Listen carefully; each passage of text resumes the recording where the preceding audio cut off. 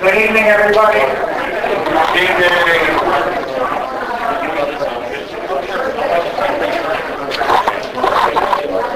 First, I'd like to introduce uh, Linda Caldwell Epps, President of the New Jersey Historical Society and co-host of this evening's event, to say hello.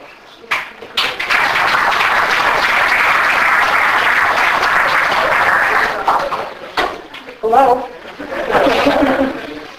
I'm very glad to have all of you here. There are lots of familiar faces. Welcome back. But there are quite a few new faces. And to those of you, welcome to the New Jersey Historical Society for the first time. Please do not let it be your last time. Um, how appropriate that uh, tonight's topic is Robert Treat.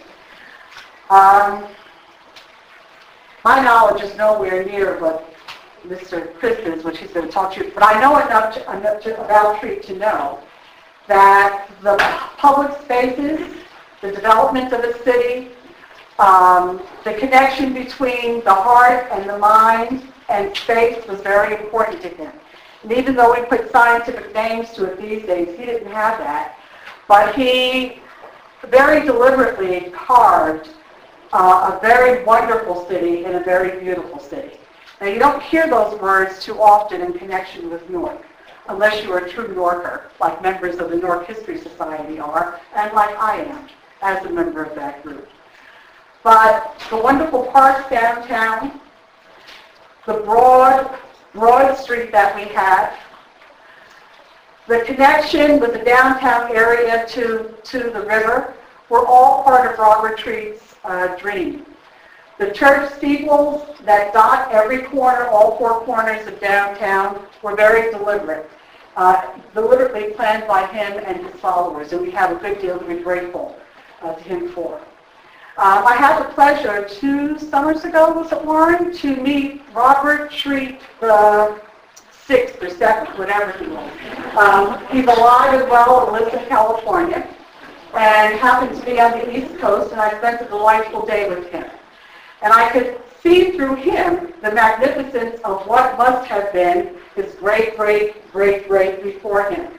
Um, he was everything that you would think a leader uh, of a group of pilgrims, a Puritan, should be. Um, I hope you enjoyed the program tonight. Welcome to the New Jersey Historical Society. For those of you who this is your first visit, make, make a second and a third and a fourth for all the floors that we have for something for you to see and do. It takes a visit of four, a four visit, to see what's going on here. And enjoy this evening's program.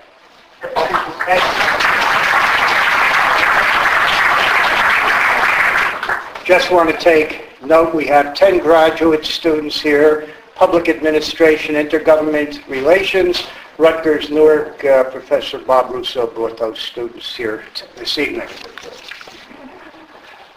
Just one quick word about the uh, Newark History Society. Uh, we're soon going to be into our ninth year. Uh, we've done over uh, 30 public programs. Uh, we're planning uh, three in the next five or six months. One on the Ironbound section, one on the Star Ledger, and one on Newark's Nazi spy.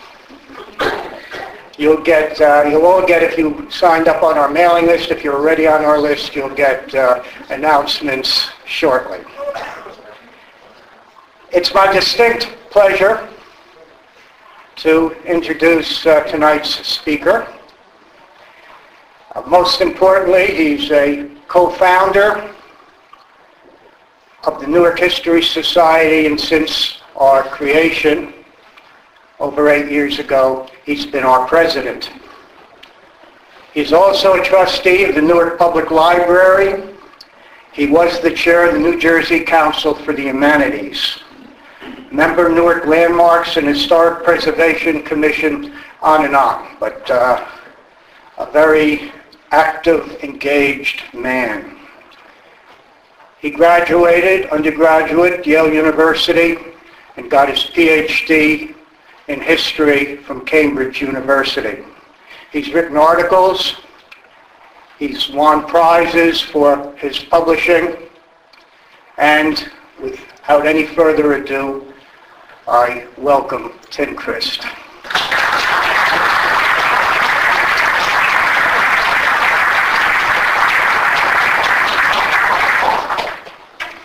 Well, thanks, Warren, I will apologize right up front for my voice. I've been challenged with something in my chest the last few days. I will get through this with the help of um, the microphone. Uh, but as Warren said, this is at least the 30th program that we've sponsored through the Newark History Society. Uh, most of them have uh, covered 20th century topics, although we've dipped into the 19th century a few times, including our program on Thomas Edison, uh, which took us back uh, to 1870. But what I want to do tonight is go back 350 years to 1659 to a time when England was in crisis. Because the resolution of that crisis in England led directly to the founding of Newark by a group of Puritans from uh, New Haven Colony. The, uh, the crisis was, was created uh, or, or followed the death of Oliver Cromwell in 1658. Cromwell had been the Lord Protector of England uh, following the English Civil War and the uh, execution of Charles I. He was succeeded by his son Richard Cromwell, who very quickly proved himself incapable and soon resigned. And that left this power vacuum in England that various army generals and their troops and a rump parliament tried to fill. Eventually, in 1660, uh, General George Monk marched with his troops uh, south to London and engineered the restoration of the monarchy. Uh, so after a, uh, 11 years in exile, King Charles II uh, uh, ascended the throne of England, succeeding his father, uh, and with that ability for pomp, pomp, and circumstance that seems to be in the genetic uh, makeup of royals, uh, engineered this rather uh, impressive procession into Westminster in May 1660. He's mounted on the white horse in the center. Um, General Monk, uh, soon to be made a duke in, uh, as a reward for his move, surrounded by his troops, which became the Coldstream Guards, um, entered London and uh, began his uh, subsequent 25-year reign. Well, the people of New Haven Colony followed all these events very uh, closely, and they understood right away that uh, the restoration of the monarchy would turn their world upside down. Um, with their strong Puritan views, uh, they um, they had established New Haven Colony in, in 1639 to demonstrate how biblical rules could guide the uh, organization of both church and uh, state. And they had expected to be the proverbial city on a hill um, by creating this colony uh, in New Haven. Uh, for a while, it seemed to be working out that way. Uh, they strongly supported Parliament against the king. They agreed with the execution of Charles I. Uh, they had close personal ties to Oliver Cromwell, um, who in turn endorsed their ideas on church government. But all that ended in 1660 with the restoration of uh, Charles II. Um, within six years, about 65 families about 300 people. Reckon each family is around four or five uh, people. More than 10% of the entire population of New Haven Colony, shown here in this kind of coffee-covered, uh, colored uh, um, section of what's now the state of Connecticut, uh, left uh, Milford. I'll try to hold this even. Uh, New Haven, Branford, and Guilford. And um, left New Haven to start a settlement that they soon called Newark. Uh, while we're on the map here, the uh, Elizabeth, right next door, was started by the people from uh, Southampton and from uh, Southold. Um, so what I want to do in this talk is to sketch out answers to three basic questions. And if I may, Linda, try to get, uh, get across the idea that the story of the founding of Newark is rather, rather larger than Robert Treat. Um, but I want to ask who were the first Newarkers? Why did they come here? And what did they do when they first got here? Uh, but it's only fair that I let you know what my perspective is on this. I didn't grow up in Newark. I did not study Newark history in school. I'm not descended from any of the uh, founders. I'm not descended from anybody in New England. Um, but I long had an interest in 17th century English history, and that's what I did my dissertation on. So I approach this as an outsider, and my instinct is to um, place Newark in the context of both New England history and English history. Um, I recognize that there are a lot of stereotypes about Puritans. Um, and I may even reinforce some of them with what I say tonight. Uh, but I encourage you to keep an open mind um, and uh, uh, see if, if you find them as interesting and as complicated as I do. I had a, I have a friend who uh, was telling about this talk and who couldn't make it tonight. He said, well, I'm not sure I would really like Robert Treat anyway. And I said, I'm not sure I would either, but I sure would like to ask him some questions. And I think that's really the historian's task. It's not to necessarily like the people that you study. It's certainly not necessarily to agree with their outlook on life, but it is to, to attempt to understand who they were, uh, what the context was in which they made their actions, and to explain it to others. And that's what I'm going to try to do here. We are fortunate that the, uh, the town records of Newark uh, have survived going back to the very earliest uh, period, and that they were published 145 years ago by the uh, New Jersey Historical Society. I bought my copy, which you can see now as a little shop worn, uh, at the gift shop back there. Um, the Historical Society also holds the original, the original uh, record of land allotments and transfers. And in addition, the records of New Jersey's uh, proprietary government have survived. The state archives have the wills of many of the early Newarkers. Um, so we can get a good view of town government, of how land was parceled out and estates were settled, uh, and how Newarkers related or didn't relate, as the case may be, with um, uh, Governor Carteret and the proprietary government in Elizabeth and later Perth Amboy. In addition, a uh, few of the books from Abraham Pierson's personal library had a fine collection of, uh, of, uh, of 440 volumes. Uh, his son, Abraham Pierson, gave, as best we can tell, at least several of them as part of the founding gift for Yale University when it was established, and they remain in Yale's library, including this one, uh, a commentary on the Song of Solomon by uh, Thomas Cartwright, printed in Leiden in 1617. And as you can see, Abraham Pierson, who was the founding minister of Newark, signed this one when he acquired it in uh, like September of 1659. But we don't have a list of all of Pierson's books, uh, so we can't trace that intellectual history. We don't have any of his sermons from Newark. The church records don't survive, so we have no record of baptisms, no record of marriages, no record of the days of thanksgiving and the days of humiliation, as they would have called them, that they would have um, held for uh, their greatest joys and their deepest uh, concerns and sorrows.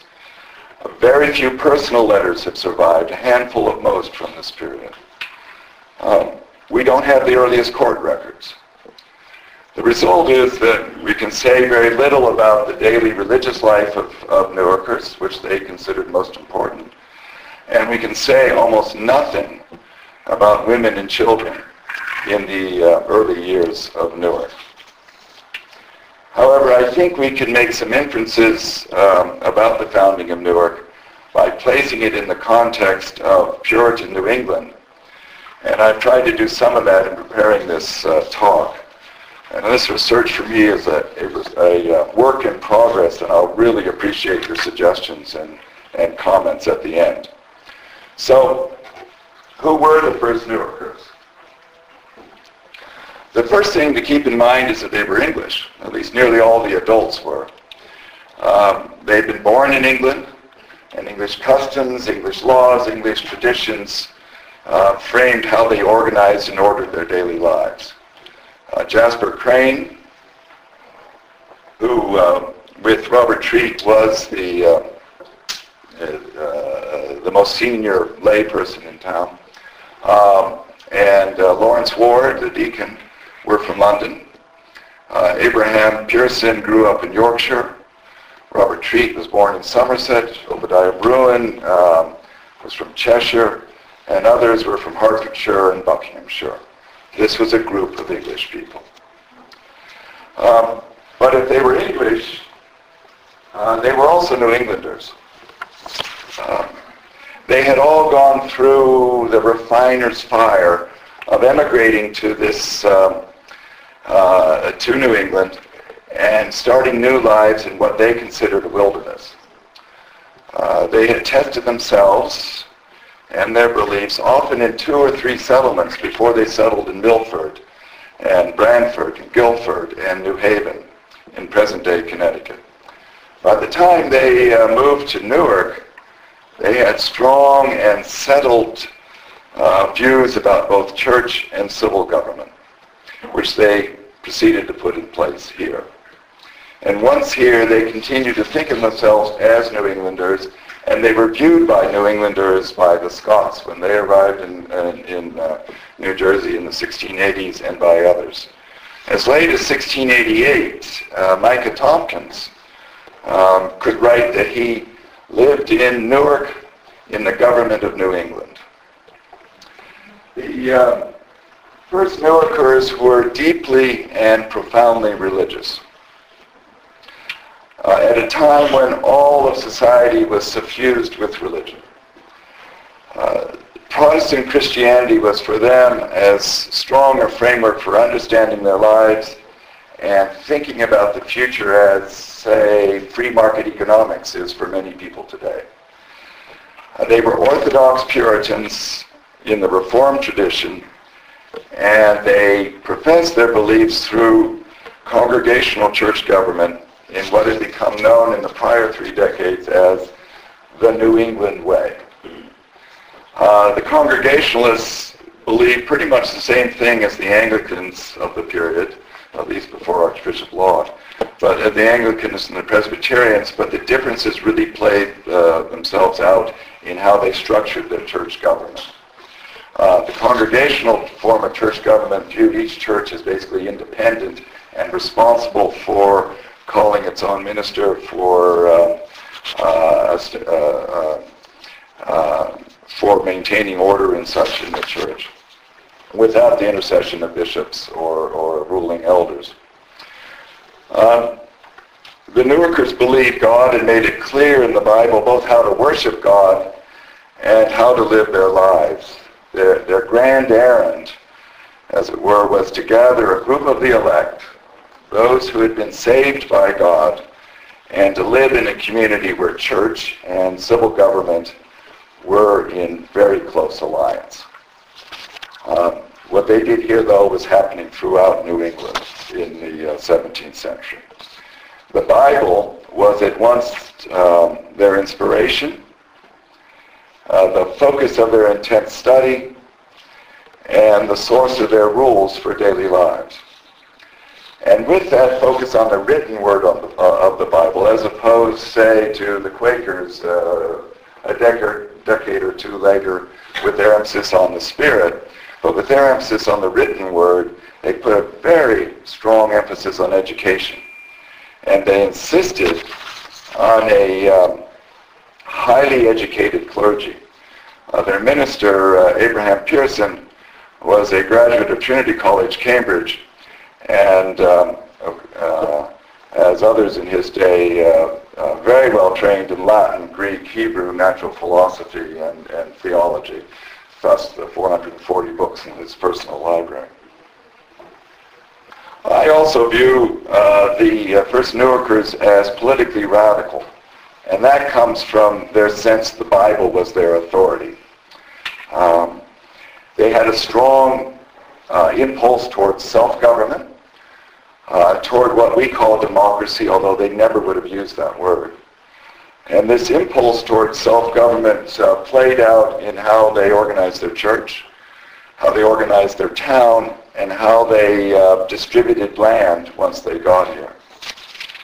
Um, when the founders of Newark were coming of age in the 1630s, uh, nearly all Englishmen believed in what was called godly rule. The question was not whether, but how God's will could be expressed in society.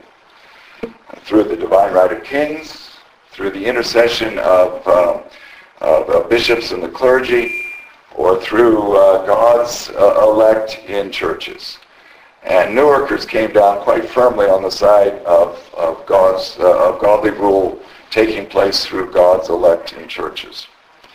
So as a result, they tended to be uh, rather reckless with the political authorities of their day, whether it was the monarchy in England or the proprietary government in, uh, in New Jersey.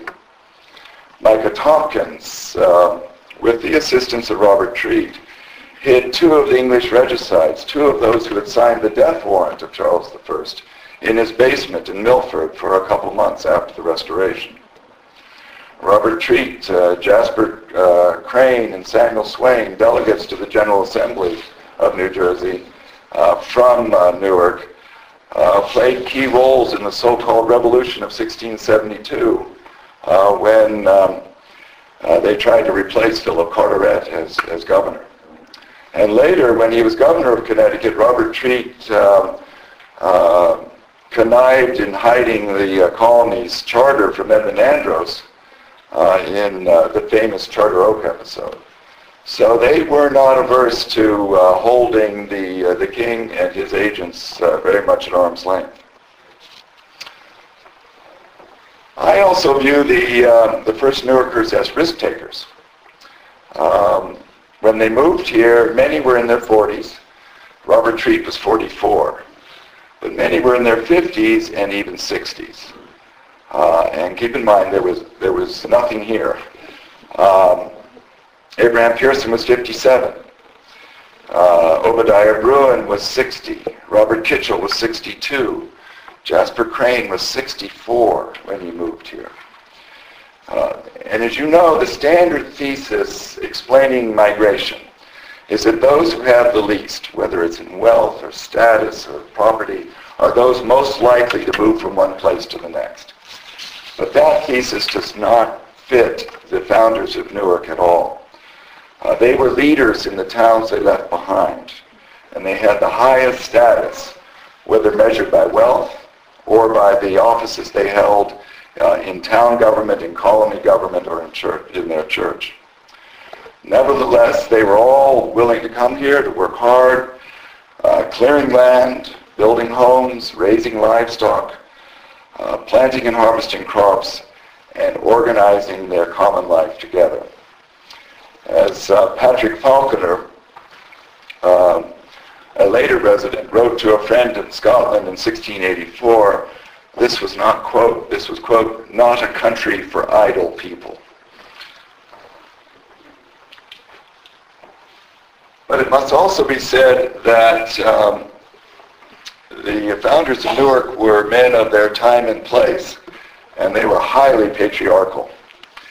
Uh, women could uh, become church members, but they could not vote or otherwise take part in town affairs. Women could hold title and land only if they inherited it uh, uh, as widows. Uh, and in Newark, the few who could afford it had indentured servants. Uh, for example, um, a servant is noted among the property of Abraham Pierson uh, in the inventory of his property after he died in 1678. And there's evidence of slaveholding among the second generation of Newarkers, um, although not to the degree as across the river in what was then New, ba- uh, New Barbados, in Kearny and Harrison and such, or down south in Burlington where slavery was more widespread. Slavery was encouraged by the concessions and agreement that were uh, put out by the proprietary uh, government. In addition to being patriarchal, they were also hierarchical. Um, status was gained uh, in Newark through wealth and service to the community. Uh, and there were subtle and but widely understood variations in status. Among men, young unmarried males were at the bottom of the heap, and they were expected to marry, start families, and then take on the um, kind of minor uh, responsibilities in town in order to gradually build their, um, their status.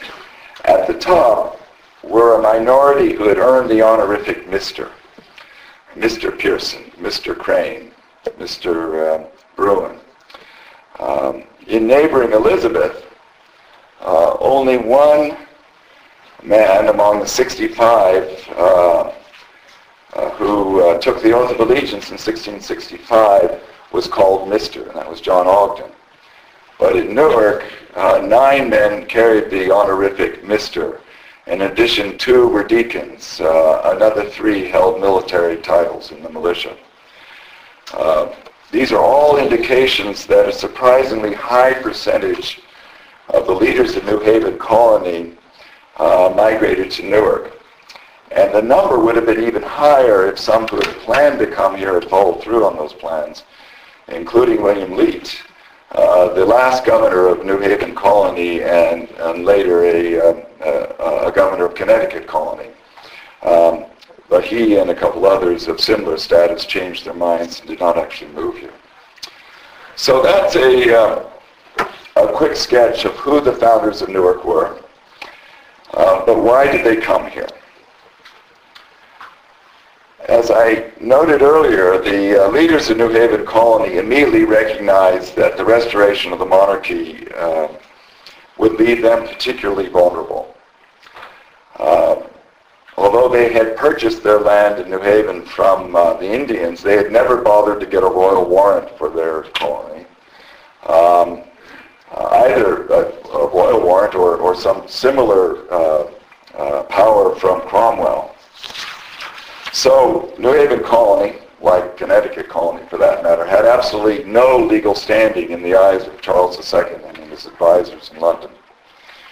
Uh, but the uh, people in New Haven, as I had said, had been especially close to Oliver Cromwell, and that was a very good way about, of, of not being in favor with Charles II. So just as a generation earlier, uh, the Pilgrims and the early Puritans had looked to the Netherlands for a safe place to worship.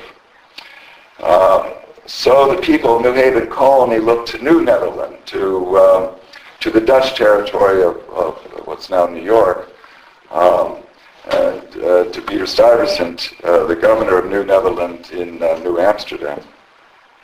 Planning for a possible move started as early as 1661, uh, with the residents of Milford taking the lead with their eye on land either where Newark and Elizabeth is today or, or uh, south on the, in South Jersey on the Delaware River, uh, Robert Treat and three others entered into negotiations with um, Governor Stuyvesant in New Amsterdam in November 1661.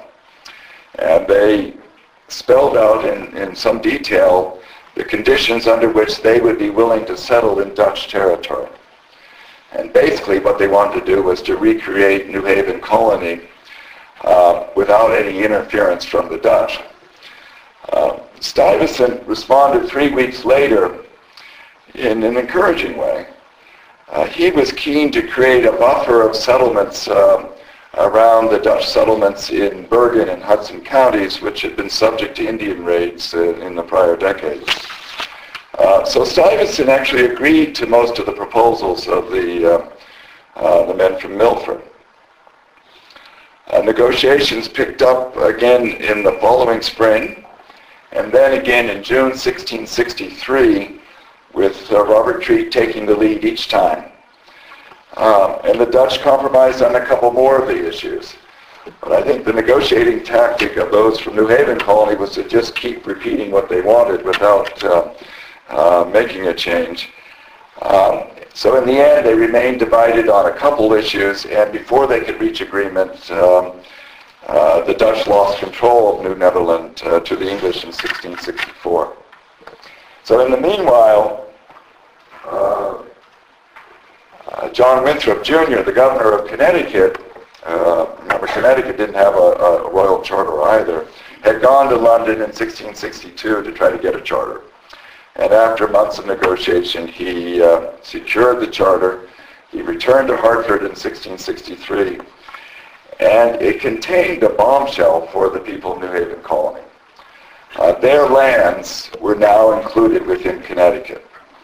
In effect, it was a hostile takeover, which uh, New Haven Colony resisted with determination but diminished hope uh, until the forced merger took place in uh, the forced merger between Connecticut and New Haven Colony uh, in December 1664. Now we often see in history that the fiercest disputes can be between factions who agree on almost everything but disagree about a couple things. And sometimes from the, hard, uh, from the outside it can be hard to see what all the fuss is about. Uh, and that's kind of the case in, in looking at the disputes between New Haven colony and Connecticut colony. They had friendly relations, um, often family in both parts. Uh, uh, Robert Treat's father, Richard, was a, a leader in Connecticut colony. Um, they shared a common outlook on life, but they disputed uh, two fundamental issues, at least fundamental to that day, and they both involved church membership. Uh, first, New Haven Colony restricted the vote and therefore participation in, uh, in town government uh, to church members, while Connecticut did not. And second, uh, New Haven Colony churches restricted the sacrament of baptism to church members and their infant children. And in contrast, many of the Connecticut churches agreed with the so-called halfway covenant. Um, that permitted the baptism of grandchildren uh, if, uh, even if their parents had not become full church members. In the midst of all these debates, and this may be the hardest slog of this talk, but I, I want you to stay with me on this section. Um, John Davenport, who was the founder of New Haven Colony, uh, the longtime minister of the church in New Haven, uh, arranged in 1663 for the publication of this pamphlet that argued for restricting uh, voting rights and holding public office to church members. As you can see, the title of the pamphlet is A Discourse About Civil Government in a New Plantation Whose Design is Religion. And the first thing to point out is plantation in these day, this day did not have the uh, connotation that it took on as, as the southern plantations took hold. Um, planters formed a plantation, settlers formed a settlement. So plantation was just a place where people uh, uh, started a new, uh, a new town. Um, the other part I want to point out is this uh, published by some undertakers of a new plantation for general direction and information. Now, the existence of this pamphlet is, is well known to historians of New Haven. But I've been unable to uh, find any mention of it by historians of Newark. Glenn, maybe you can correct me on that. But I'm convinced that Davenport published this to influence the planning for what became Newark.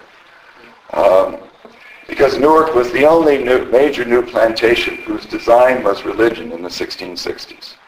Uh, and Davenport, although he did not move to Newark, he was well into his 60s he moved to Boston and, and um, became the uh, senior minister at First Church Boston.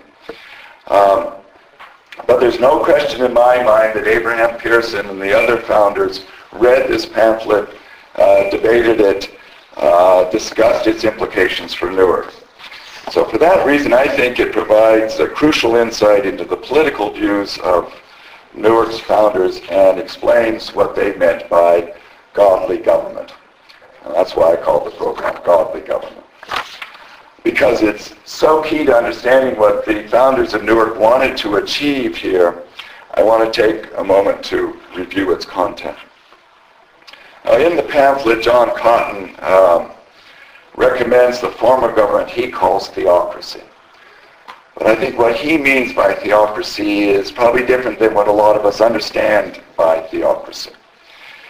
He intended his recommendations only for new settlements, uh, where the first settlers agreed up front that they wanted to live and worship according to what they perceived as God's law. In other words, a place like New Haven in the 1640s and Newark in the 1660s. He did not expect a theocracy to work where there was already an established government or in a new settlement where the original settlers didn't feel that that was their common goal. Uh, and in the pamphlet, he also made clear that church and state have separate and distinct roles, and the two should not be confused. Uh, public officials should not have power over spiritual matters, and church officers, the minister and the deacons, uh, should not be distracted by what he called secular entanglements. Um, however, he argued that regular church members uh, would be better able to pass laws and regulations that followed uh, biblical precepts and that uh, encouraged virtuous living uh, than men who were not church members. So he concluded that uh, only church members should have the vote and only church members should serve as public officials. However, he explicitly added the caveat that those who were not church members should retain all rights in the distribution of land, in the administration of justice, and in all other civil matters. And he warned that if uh, uh, non-church members did not retain those rights, the church would swallow up the state. And he saw that as disastrous both for the church and for the state. So I won't go into similar depth, uh, depth about the uh, uh, halfway covenant, but suffice it to say the final straw was when Connecticut passed a law in 1665 um, implementing the halfway covenant throughout Connecticut. And when that happened, planning for the move to Newark went into high gear. So while that debate was underway, the English in one of the recurring trade wars with, uh, with the Dutch, had seized control of New Netherland. And King Charles uh, II gave control of it to his brother James, uh, later uh, uh, James Duke of York, later James II. And James kept responsibility for what's now New York, uh, but he handed um, or awarded New Jersey to uh, Lord John Berkeley and uh, Sir George Carteret, uh, two faithful royalist uh, uh, retainers. And they viewed New Jersey, and they developed the name New Jersey, primarily as an investment. They never had any intention of moving here. Um, that this investment would pay off as they collected quit rents, or as we would call them, property taxes, um, from settlers but they needed to get settlers here. Uh, so to that end, they developed these, what the document they called concessions in agreement.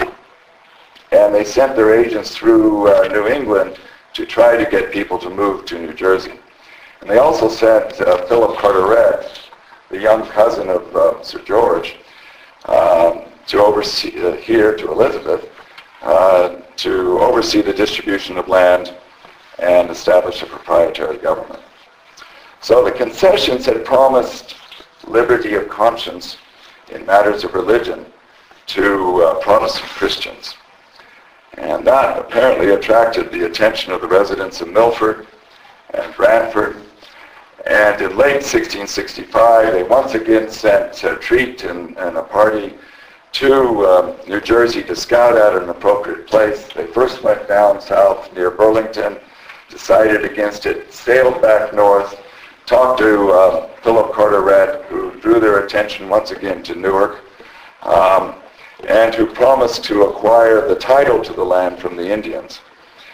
Um, so the Newark site met with their approval, and the following spring of 1666, um, uh, Robert Treat and other representatives of uh, Milford, Branford, and Guilford returned by ship to the uh, Passaic River and started to unload the, uh, their goods, just over here near where NJPAC is today.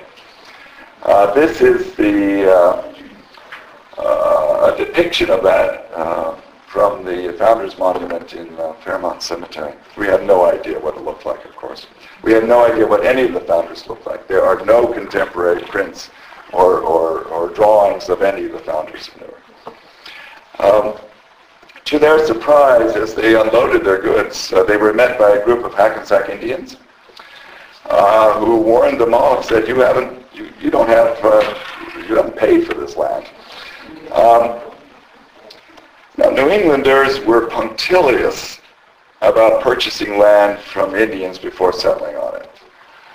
They might view Indians as barbarous natives. They might view them as ripe for conversion to Christianity.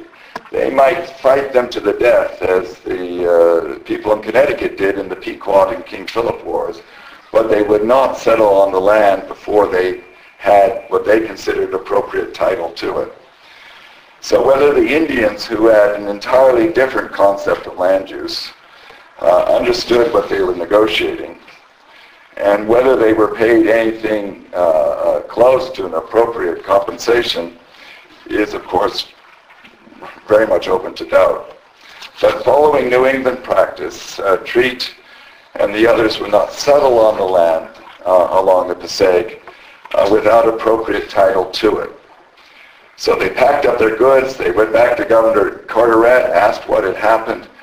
He gave them a letter of uh, introduction to the Indian sachem Oriton.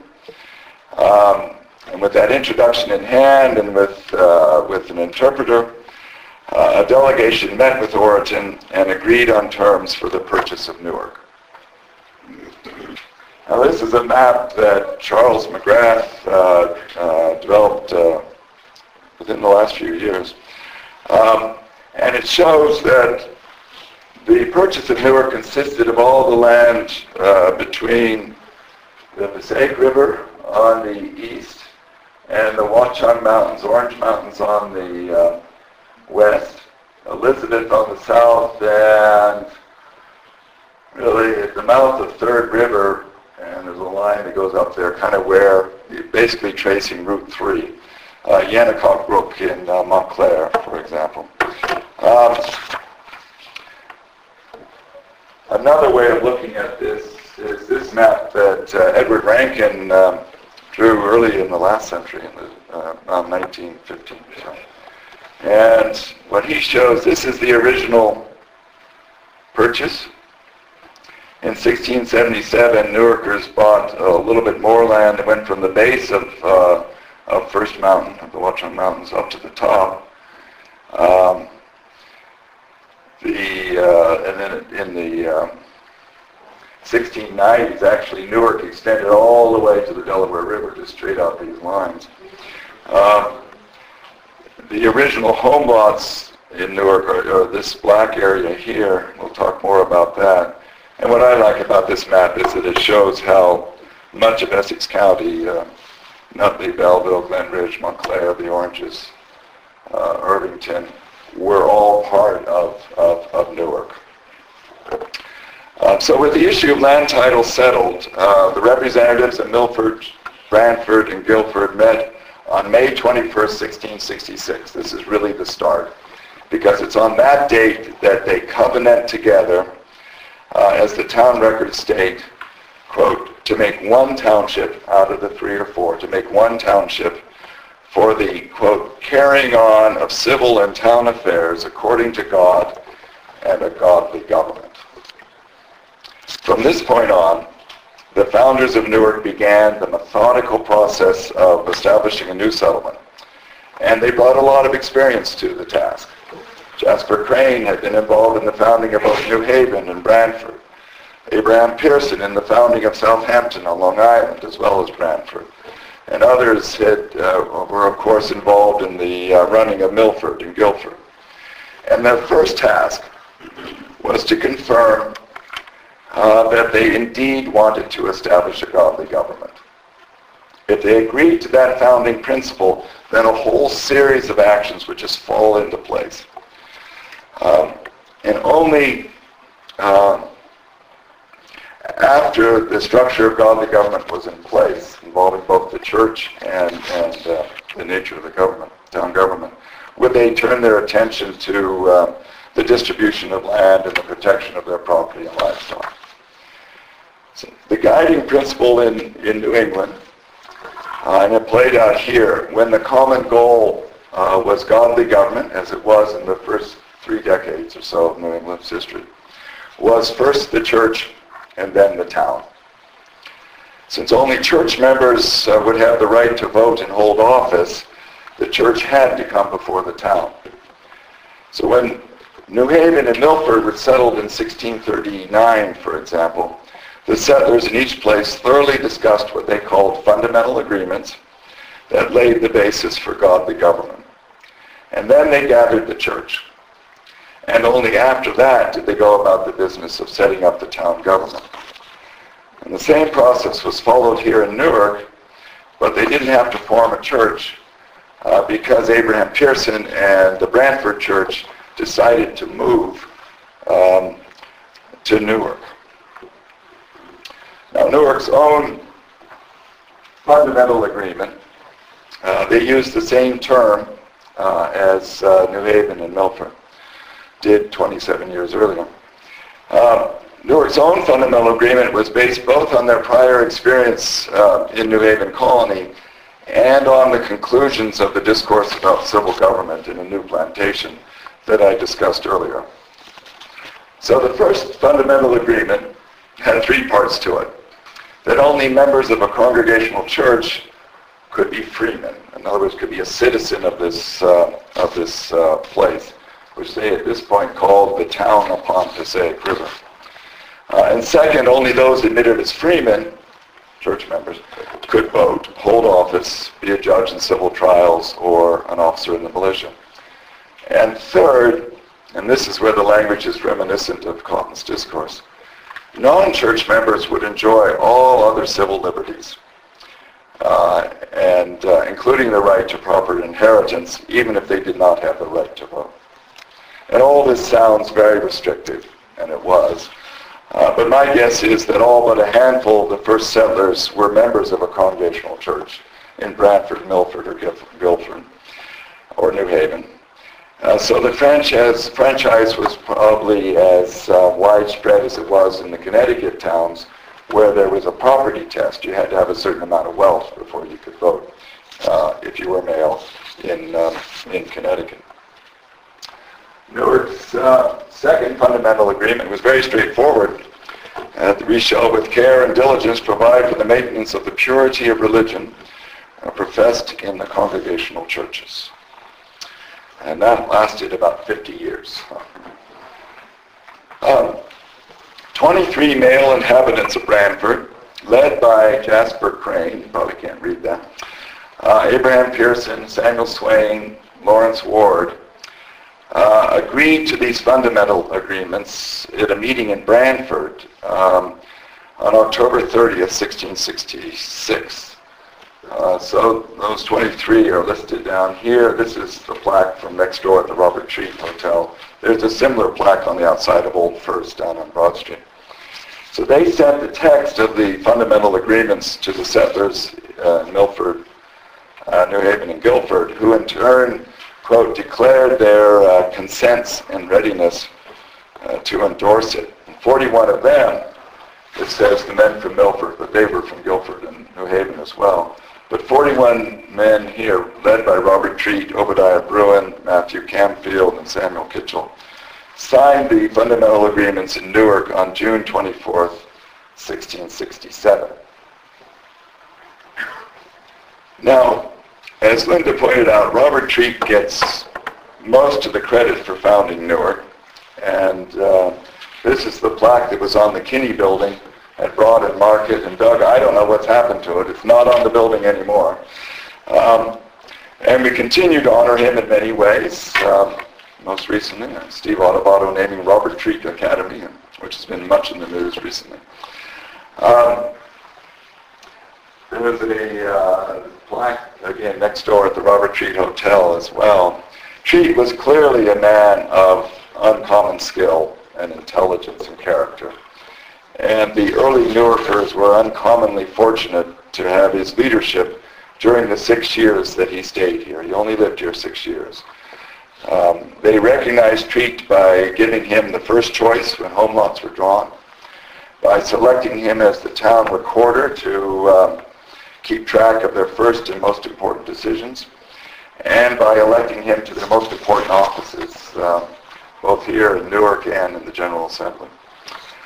Um, but if the purpose of Newark was uh, to establish a godly government, which is what they said it was, and to maintain a congregational church, then um, uh, we also need to give credit to Abraham Pierson, who for 12 years was the first minister in, in Newark, and I think it's his fingerprints that are all over the fundamental agreements. Uh, Pierson was a strict and orthodox Puritan. Uh, Governor Winthrop of Massachusetts called him a godly and learned man. And he's one who earned the uh, respect and I'd say affection of the early Newarkers.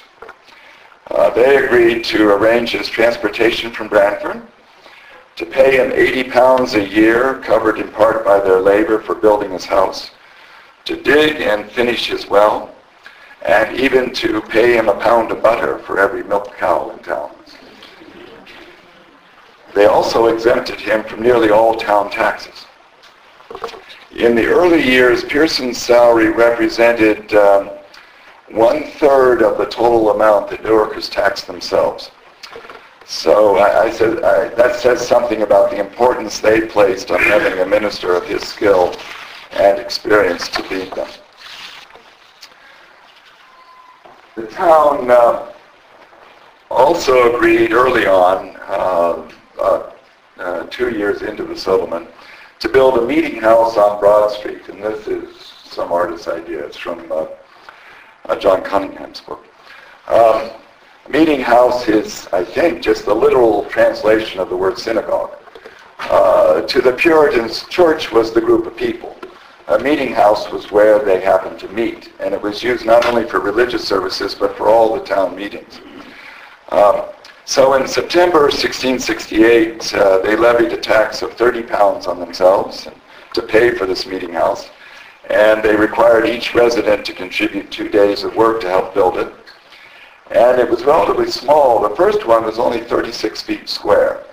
And I paced off this room earlier, and uh, this, I think, is about 30 feet wide. So add another five or six feet over there, and take about six feet off the back, and you have the size of the first meeting house, which would have been very comfortable for the town meetings when they would have been about 60 men, but must have been really crowded um, when uh, uh, you had two or three hundred people squeezing in there um, for two church services every Sunday, uh, for a lecture every Wednesday evening. Um, and if they followed New England practice, the men would have uh, sat on the left and the women on the right. And Deacon Ward and uh, Deacon Lawrence would have sat up front facing the congregation uh, in front of the pulpit from which uh, Pierson would have uh, uh, preached his sermons and expounded on Scripture. As I say, the meeting house was also used for all the town meetings, moderated by Jasper Crane and Robert Treat. And all adult male, whether or not they were church members, were required to attend those. Um, so with the, uh, going back to 1667, with the two original fundamental, fundamental agreements signed and the church in place, um, the founders of Newark quickly took steps in the summer of 1667 to sort out their town government. And the first thing they did was to supplement the fundamental agreements quote, by a full vote of um, the town assembled in order to make it crystal clear um, the, uh, the basis on which they had covenanted together. They decided to require any new resident to uh, have a character res- uh, reference, unless they knew him already, that all inhabitants would have to agree to all the fundamental agreements, uh, that they would tax themselves for the support of the uh, ministry, uh, that they would elect town officers annually, and that they would live uh, by such orders and laws they had in the place from whence they came, uh, until they could pass their own laws. In other words, they would use the laws of New Haven Colony until they passed their own laws. Uh, they also voted to impose one other fundamental agreement, uh, and that was designed to forestall friction and dissent, which often cropped up in uh, New England towns. And all the inhabitants were required to agree up front uh, that if they uh, advanced positions that disturbed the peace of the settlement, or if they held views that subverted the town, quote, from the true religion and worship of God, and were then unwilling to keep their opinions to themselves, uh, that they would quietly leave uh, the town, to leave Newark. Uh, if this happened, the town agreed to pay the market price for their lands um, and for their houses, or let them make their own deal, but they had to approve the buyer. Uh, without the church records, we can't tell whether any residents were asked to leave in this way, but I don't find any mention in the town records uh, that that happened. It apparently took a few months to agree on a name for the town. Um, in the fundamental agreements and in the earliest portion of the town records, it's called quite simply Town upon Passaic River or Town on Passaic River. Now there's a tradition that the settlers from Milford wanted to call the place Milford. Um, but were persuaded by Abraham Pierson that it should be called Newark for the place in England where he first served as a clergyman. Now there's been a debate ever since about whether Newark implies new ark or new work. Um, and I was amused recently to read a biography of, for, uh, of Jonathan Dickinson, uh, the uh, founder of Princeton and minister in, uh, in um, Elizabeth, where the, uh, the author claimed that, uh, uh, that the town was originally called New Ark of the Covenant. Um, that's, that never appears in any of the early documents. But the name was variously spelled as New Ark, New Work, or just plain Newark during the early decades. I happen to like the theory New Work, um, W-O-R-K, for the uh, reason first suggested by Jonathan Stearns in 1853 in his History of Old First.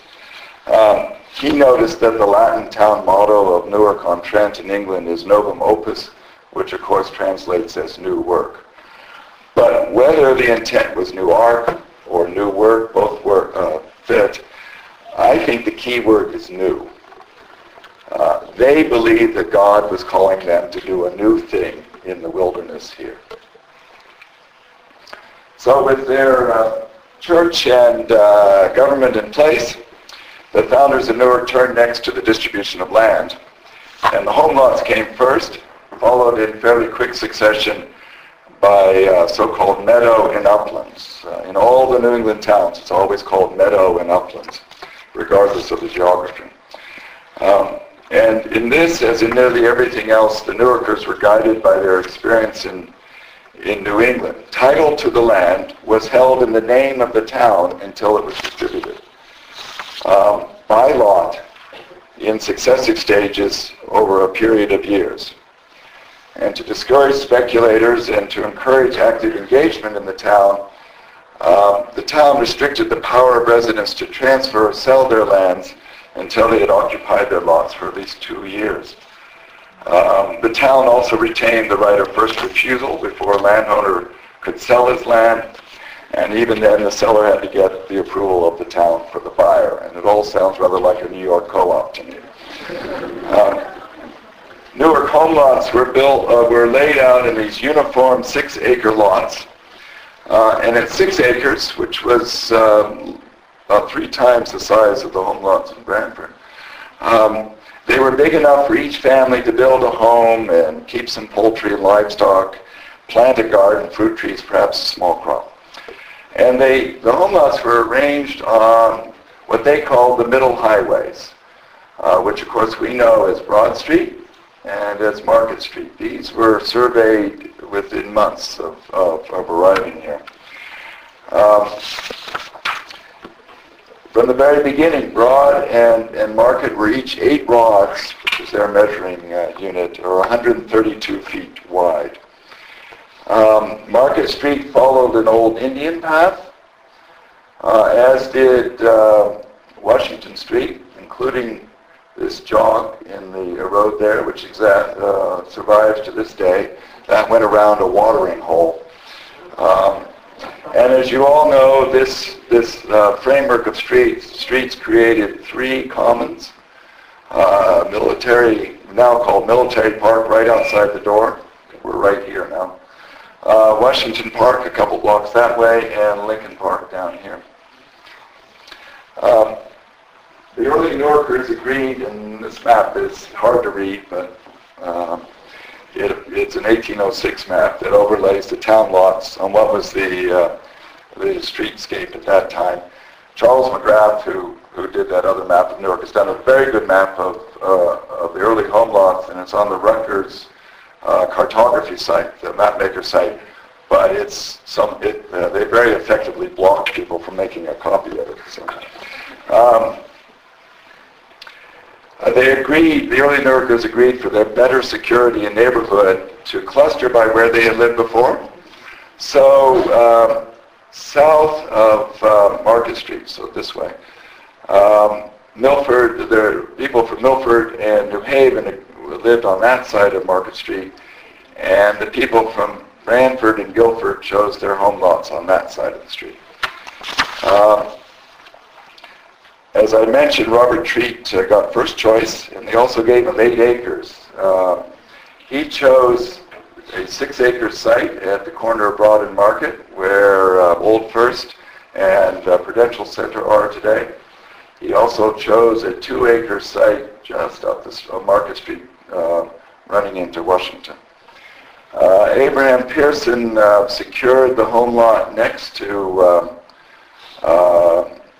Robert Treat. So the two leaders of Newark lived right next to each other. Um, when Robert Treat returned to Connecticut in 1672, he transferred his lot to his daughter Mary, who had uh, uh, married uh, Azariah Crane, a union of the two leading families of town, and it remained in their family until the 19th century. Um, John Ward's lot over here on the top of um, Washington Park remained in his family until the 20th century. And I was talking to William Penniston the other night, and I think it may have been in the uh, Ward family until it was acquired for the building of the Newark Museum. If it wasn't, it was a very brief gap. So, um, but once the home lots were uh, settled and fenced, uh, the town turned in February 1668 to the first division of upland in what they called the neck. And I suspect down neck for, for the ironbound area stems from that very early reference to the neck. And their first lots were distributed uh, kind of uh, east of the, uh, of, of uh, the town and over toward uh, Elizabeth. Uh, the size, unlike the home lots, the size of these fields depended on the size of your estate. So you got three acres for every hundred pounds of estate in the first division. In a subsequent division, you got six acres for every 100 pounds of estate. And it's actually interesting in the, in the town records to see the, uh, the assessment of each settler and, and, and uh, what their wealth was. The two wealthiest individuals were Robert Treat and Abraham Pierson. Um, and there were subsequent uh, divisions. This is Charles McGrath's map of the Lyons Farm area in 1676. You could have similar maps up into Montclair and the Oranges, and the earliest families uh, took up their land in the, uh, well, they got the land in the 1670s. They, in many cases, didn't begin to farm it until uh, some years later. Uh, there was another large division of land in the 1690s. So in addition to the actions related to the distribution of land, they also passed a number of regulations related to the protection of property and their livestock. Uh, it's worth keeping in mind that like much of New England, Newark was essentially a barter economy with very little money circulating. And of course, there weren't any banks uh, to extend credit. Um, so wealth was tied up in land and in livestock and income depended on the success of your crops and the success in breeding or trading um, uh, livestock. Uh, I think Pierson actually gained a lot of his property back in Branford by breeding horses and trading them to the West Indies. Uh, when crops failed, uh, as in 1676 here in Newark, uh, times were very hard indeed. Settlers needed easy access to their fields, so the early records are full of references to um, uh, laying out and maintaining highways, essentially uh, paths or, or what would turn into streets to give access to the lands, and to draining the meadows. Um, that's been a three or four century task as well. Um, it's a similar story for fencing the home lots in the common areas. Um, since hogs and cattle, if uh, they got into the gardens, could do very quick damage. Um, and to protect the livestock, the town regularly uh, posted bounties for the killing of wolves and bears. And just to provide a quick flavor of what was happening in the town meetings, uh, 1669 was probably their most active year. I count 11 meetings, one in January, then a cluster of them in March through July, and finally one at the end of the year in, in December. At least 40 issues came up for vote. So these are a lot more productive meetings than the committees I sit on. Um, this is just eight or nine of the 40 decisions. Um, they chose Henry Lyon to construct uh, an enclosure for cattle and also to keep the uh, tavern, the ordinary, for the, uh, uh quote, entertainment of travelers and strangers. They selected Stephen uh, Bond uh, to be the common brander for horses and to keep a record of the brands. And John Ward to do the same thing for cattle. They assigned Micah Tompkins and Edward Riggs the very important task of viewing the fences, of inspecting them to make sure they stayed in good order. Uh, they contracted with a couple men to, uh, to raise the meeting house. Uh, they persuaded Samuel Swain to build and maintain a mill. A mill. Uh, you needed a mill to grind the, uh, uh, the grain. Um, they were willing to provide Swain with substantial subsidies of both money and labor, but for some reason he didn't follow through on it, and they had to revisit the issue the following year. Uh, they established twice yearly courts uh, with six-man juries.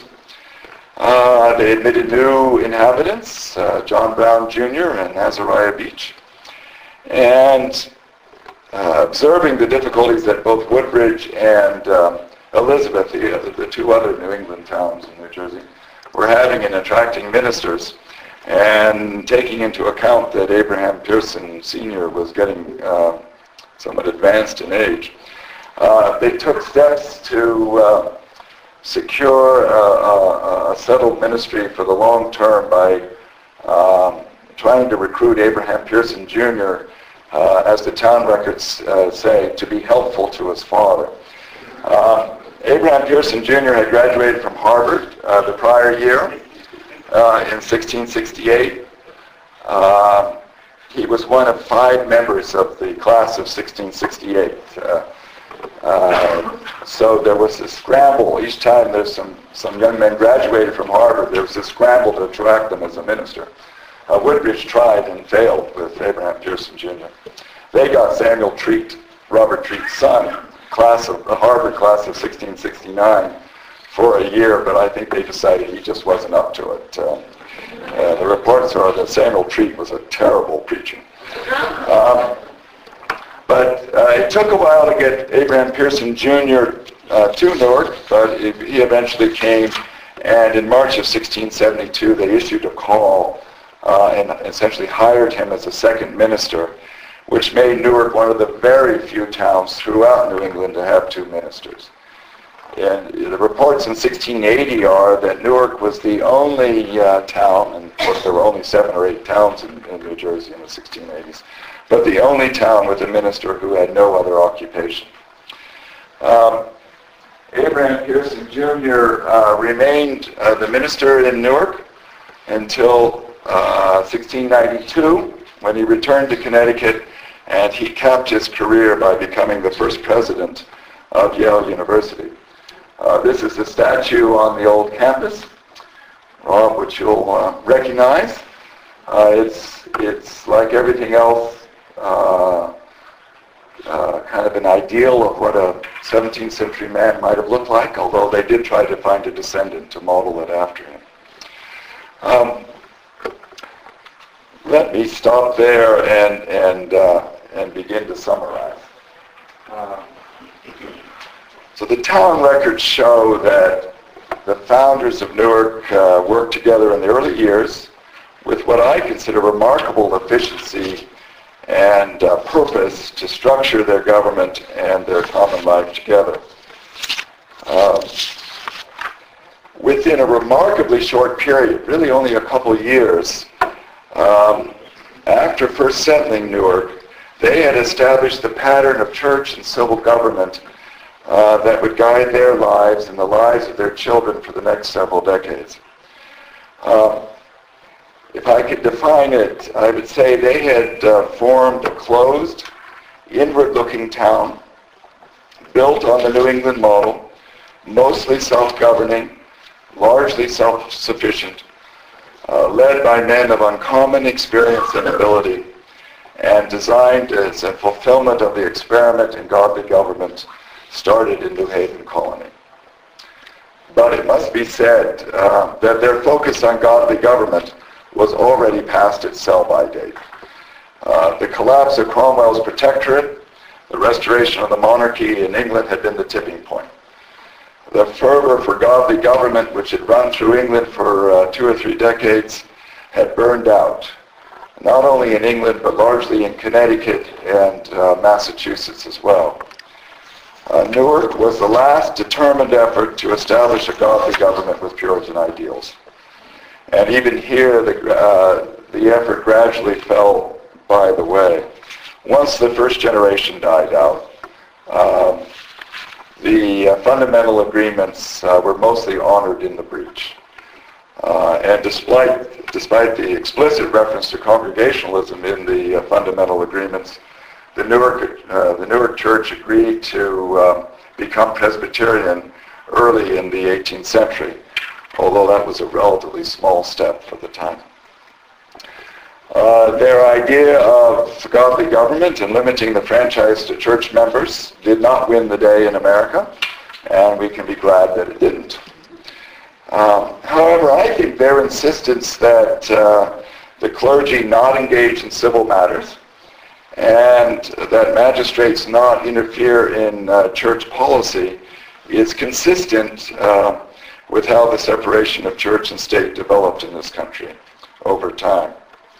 In addition, their focus on education and on a deeply intellectual ministry uh, certainly influenced American uh, history uh, since Newarkers played key roles in the founding of both Yale and Princeton.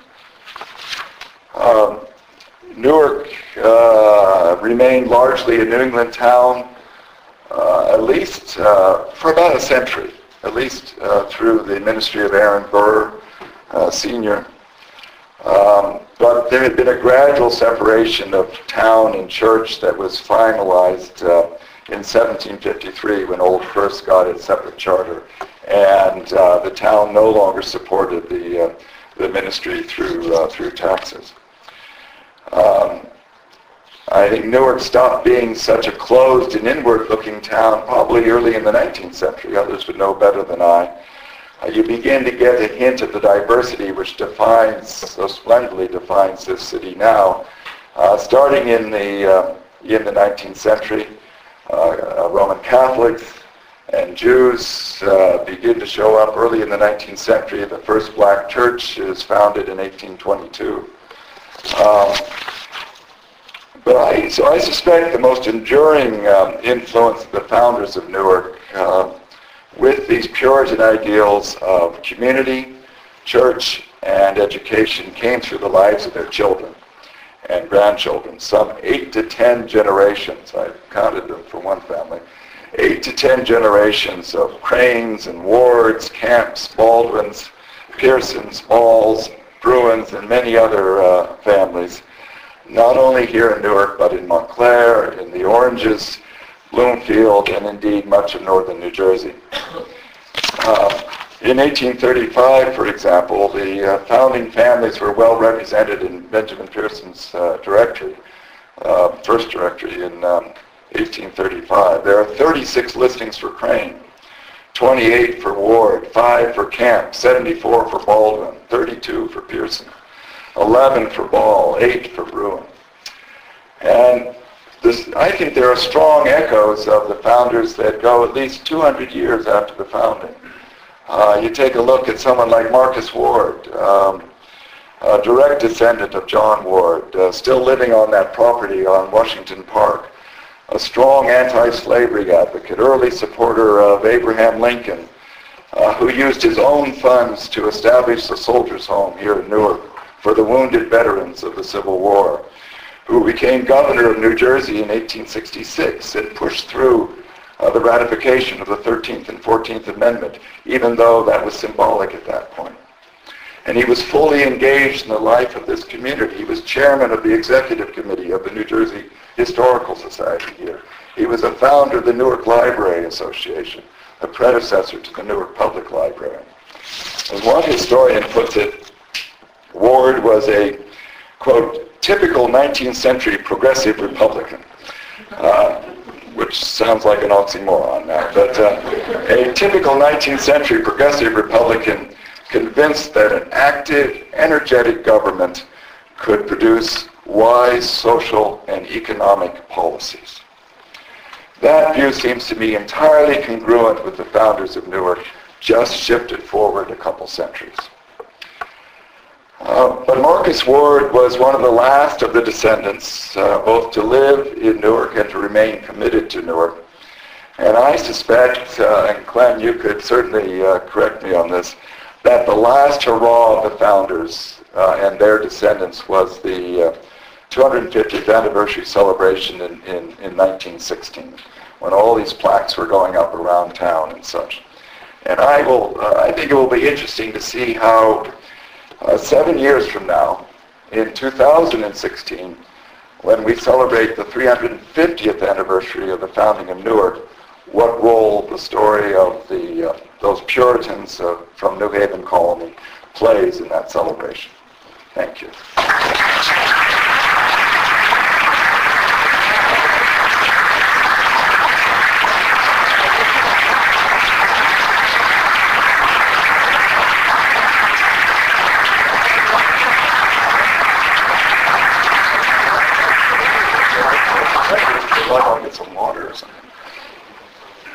If anybody has a question or if you want to escape, now's. Yeah. The initial map that you put up there, it showed the brown shaded area as uh, the New Haven colony. It also Yeah. showed a smaller square, of the same color, right at the border of Connecticut, New York. Yeah, like, like Greenwich in that area. They, um, I don't know that history as well, but um, they were not very far along in their settlement. Uh, they were very much of the same view. It Uh, wasn't the same people though.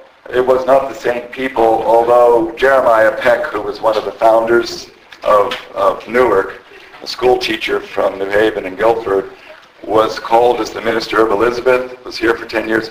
He then moved to Greenwich, Connecticut, where he was the founding minister of Greenwich.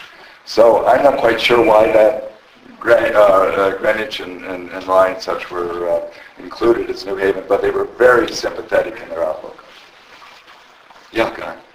Tim, what matters do the courts take up? I wish I knew. I wish I knew. The court records don't uh, survive. I Uh, suspect it might have been civil as well as criminal. uh, how do they resolve disputes between citizens? again, we don't really know.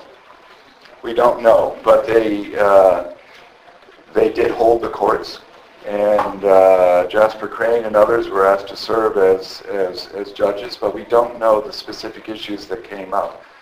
I do know that Abraham Pierson was one of those who uh, uh, certainly knew about the uh, uh, the Massachusetts laws that had been in effect in the 1630s, and in fact he he wrote them into the town records of Southampton. And Pierson has gotten a very bad press ever since because the local historians in Southampton looked at those. You know, they had the death penalty for teenagers who did not uh, uh, listen to their parents. Right? so that's what I may want to implement. But uh, the uh, uh, but all Pierson was doing, he actually, and it does, I don't think the people in Southampton realize this, he was just copying the, the laws of Massachusetts. Um, and they matched point by point what was later published. And, um, but they took a pretty strict view of things. But, uh, for example, the death penalty, and there was lot, there uh, the death penalty could be applied in a number of instances.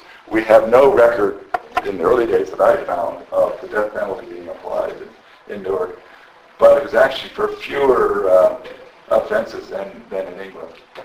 Tim, that map that showed all of Essex County was basically Newark. When did all these towns like Lonsdale, Bloomfield break away? Was that late, much later? Yeah, mostly 19th century. Uh, Tom, you want to help me with that? That um, I, uh, you know, my sense is Bloomfield is around 1820. You know, Montclair is later in the 19th century. Uh, the rule that is that in each place, though, there's a uh, there's first the church and then the town. Whether it wasn't called the government, but the the first uh, the Mountain Society, which is now the Presbyterian Church on Scotland Road in, in Orange. I guess it's Scotland Road.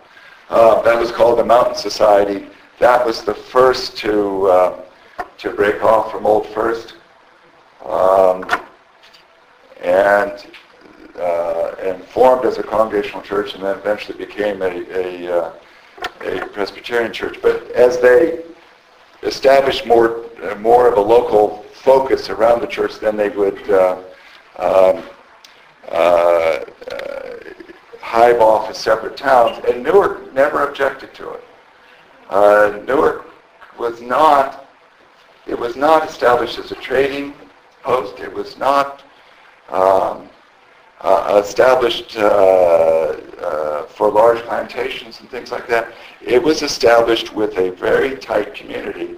And when you were past the point where you could get back to town meetings or to the church with an easy horseback ride or a walk, then it was the New England practice that you would kind of hive off and start a new settlement. And that's essentially what, over time, happened uh, around Essex County. So Newark, I got me on my exam for my... yeah. So Newark is known as not, only- I mean, the mother of, of, of, of cities and the mother of churches in that way. Yeah. You mentioned that they had a value for education, and it's very interesting to talk about how Howard, Harvard, and Yale, and Princeton. What are some of the records reference to educational, and records of ed- educational initiatives for the uh, level of education? Um, they set aside land in 1676 uh, for a schoolhouse. I suspected, I suspect Pierson was the, would take students into his home before that. Um, so Newark Academy, which is out in Livingston now, is a is the successor to the uh, to the academy uh, that was once on Academy Street in Newark and once in Washington Park. Um, and uh, but uh, uh, at least there were seven founding ministers of Yale, and at least three of them are closely tied into Newarkers. Um, and one of them was Abraham Pierson Jr. Uh, um, uh, Princeton was founded after kind of a little bit of a dispute with Yale. Um, first, his first year was in Elizabeth. The first graduating class was down the street at Old First. Um, uh, when Aaron Burr uh, was president, Aaron Burr, the father of the vice president. Um, and um, what I find interesting is that one of the founding four trustees of Princeton, what we know as Princeton then, it was then the College of New Jersey, is John Pierson, the grandson of Abraham Pierson, the son of Abraham Pierson Jr., um, who, like Jonathan Dickinson, the founder of Princeton, uh, uh, has, had, had been educated at Yale. Yeah? Uh, Before you referenced the importance of the anniversary, I hope we can do better than Brick City. I'm wondering if the society perhaps uh, working with the New Jersey Historical... And- and Doug- Doug and group. That's right. Uh, Might begin to, um, I guess, minimally bunch of planning initiatives. Yeah, I think it's going to be here before we know it. And the theme is going to be very different this time, I think. Uh, It's, I, I, I presume it's going to be a theme of diversity, but, uh, uh, as you know, before 1916, there were committees and planning, and it went on for years. So it will sneak up on uh, folks here, and uh, we should talk about that. Of ongoing about the original treaty, is friendly relationships, there any kind of trading going?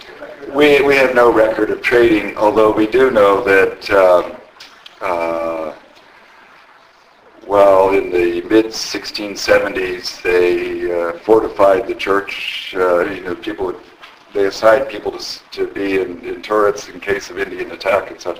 But there are no indications of, of any Indian raids in this area. Um, they certainly were in a position to make that subsequent uh, acquisition in 1677. Uh, But uh, it's, it's it's the horrible thing about trying to understand the, um, the Native American presence here is that you need written records for the most part, and, and they're very, very hard to come by. Yeah. You uh, made reference to Robert Treat's edgy relationship with the proprietary government. Any, uh, any stories, any, uh, Well, I, I, I could only, I had asked myself the question, why did he leave after only six years, after having planned this for six years? And there's no good answer to that. It may have been that the people of Connecticut wanted his military skills, because in a couple, within a couple years, he was put in charge of the Connecticut militia that uh, fought King's Philip, uh, King Philip War, King's, the King Philip War. Um, it may have been that he presumably held on to lands in Milford, and there may have been a need to go back and look at that. Um, I uh, wish there were evidence for, for, a, for a theory that I would find very interesting, and that would be that he actually played, that uh, just maybe he played a, a really important role in the, uh, uh, uh, in the resistance to Philip Carteret as governor. Um, what's interesting is that in January of 1672, he's elected to his office, is re-elected. Uh, he goes off to the General Assembly, and then you get to March, and he's suddenly gone. And they have to have a special election to replace him as town recorder. So it was a very sudden decision. The problem with that theory is that it was probably the May meeting in 1672 when they uh, uh, the folks of Eliz- in Elizabeth and uh, and there were a couple other places tried to replace Philip Carteret with uh, with a, a, George Carteret, who was the son of Sir George, uh, a, captain in the English Navy, uh, and all that fell apart.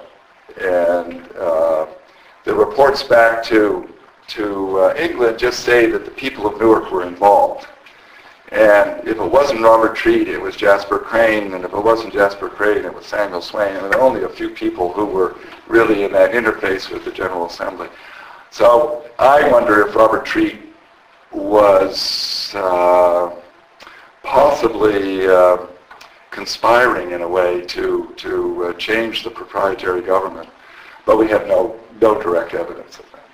So I have no juicy stories along this line. Yeah. I don't know if you but the question of when was the slaves and uh, what about families after their? Um, I wish Clem had not left on that one, but um, I'll tell you that uh, the, the way to find about, out about slaves in early Newark, and I would think, uh, Tom, it would be a good task for uh, your students, uh, is to go through the wills and look through the, pro- the list of property. I must admit, I was kind of shocked to see that I looked at the report on uh, of Azariah Crane, you know, living on that broad and market lot with his wife Mary Treat, uh, deacon of Old First, who gave the silver bowl that is still used at the communion services at Old First, that right after that silver bowl is a Negro male among his list of property. So that's the evidence of slaveholding in the second generation that I'm aware of. I have not gone through all the other wills to kind of count it up. Um, as I say, there was a, a black church in, in Newark, certainly by 1822. Uh, the Historical Society, Linda holds the, uh, the papers of the O'Fake family that we were hearing about recently. Um, uh, yeah, that's from uh, the 1830s and 1840s, so there's documentation about black families in Newark at least by 1830. I don't know There's also that. the evidence of um, slave sale uh, for scholarship support for North Academy. Um, I believe that, that's um, soon after North Academy was established. It was the code, the code thing. Yeah. Deeds in Essex County, uh, years ago, I was having to through it, it was Sure. part of the. Yep. Yep. Yeah. Um, on the more, on about preservation, because obviously we have an issue with records on it. How do you, how do we preserve records now? Are there, got some great archivists here. Although Larry Beamer left, you're, you're sitting right next to the librarian of, uh, of the Newark Public Library. Uh, it's a, it's a struggle. It's a struggle. There are always more records to preserve than there is money to, uh, to conserve them or space even to house them. Um, so George, you can speak to this, that it's a, it's an ongoing effort.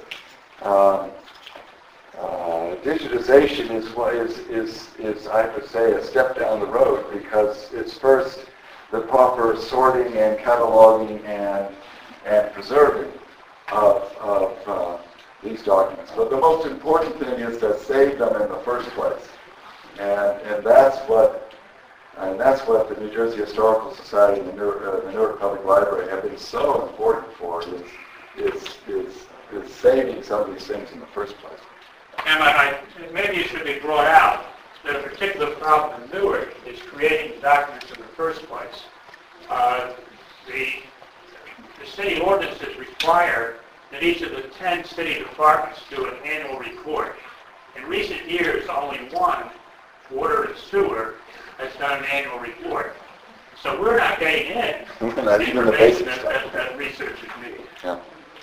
Okay, and, uh, one more, or is that, one more? Steve? Uh, uh, it seems that the original reason for being of, of Newark's godly government differs dramatically from the and post Peter Stuyvesant and but into the late 1600s, what's the relationship like?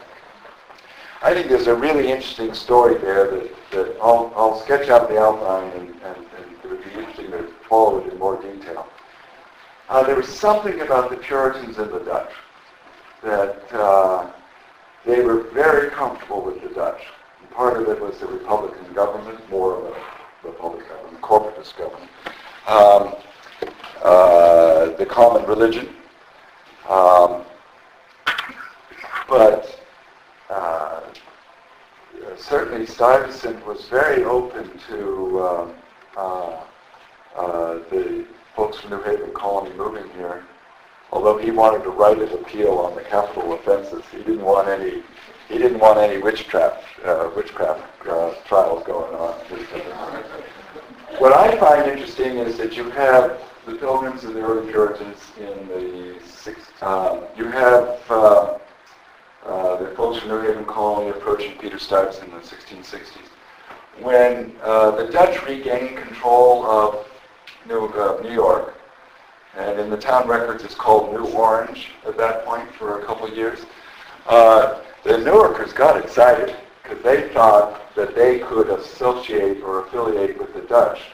Uh, they tried to buy the land across the river from, from one of the English landowners, and they couldn't get the title to it before the, Dut- the Dutch lost uh, uh, uh, uh, control of, uh, of uh, New York.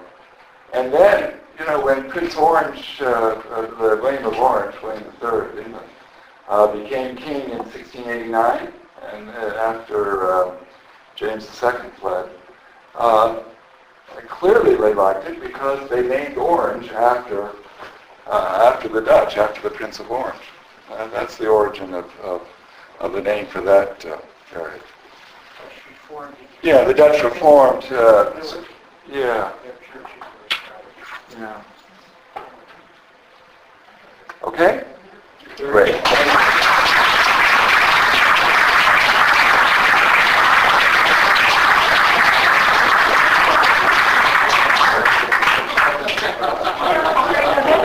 you all again for coming. Please sign in if you, we don't have your names and addresses so we can keep you informed of future programs. Good night.